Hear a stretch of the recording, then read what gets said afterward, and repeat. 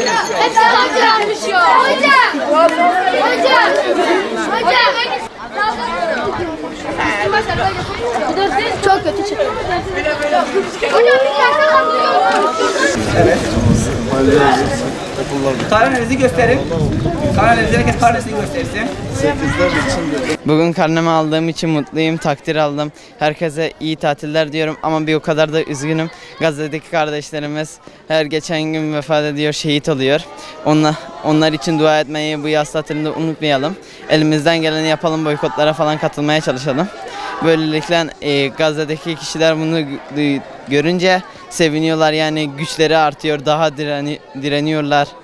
Yani bu yüzden dua etmeyi unutmayalım. Ee, Karnemi aldım çok mutluyum Ee, ama bir yandan da yine üzgünüm. Filistin'deki kardeşlerimiz onlar bizim gibi işte okula gidemediler, karnelerini alamadılar. Onlar bizim için ay, onlar da sevinç yaşayamadılar. Onlar için üzgünüm. Hani keşke bu Filistin'deki savaş bitseydi.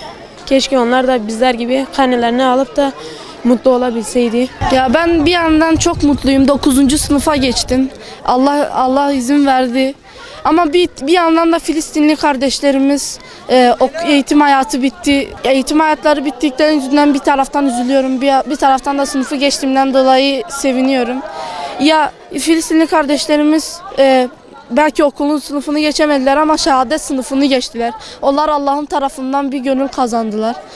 Allah onları yanlarına çekti, şehit etti onları. Maddi manevi olarak Filistinlilere yardım ediyoruz, boykot ediyoruz, dua ediyoruz.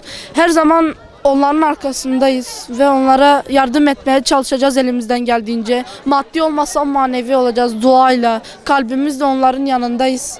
Ne kadar uzak olsak da onlar da bizim bir kardeşimiz ve onların halinden anlamalıyız. Çünkü bizim de başımıza gelebilirdi. Ee, biz mutluyuz şu anda. Karnelerimizi aldık, sınıfımızı geçtik. Şu an biz 7. sınıfa geçiyoruz. Ama Filistin'deki kardeşlerimiz de bizim gibi şanslı olamıyor bazen. Ama onların da manevi hayatta ve diğer dünyada şansları var. Bizim şanssızlıklarımız olmasına rağmen onların şansı var. Ama bu hayatta onlar şanssızlık duyuyor.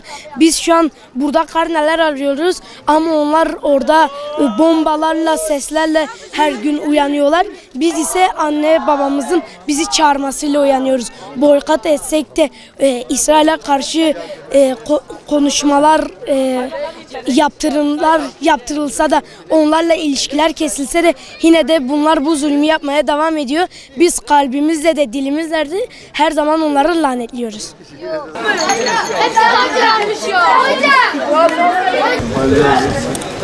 Karnenizi gösterin. Karnenizi herkes karnesini göstersin.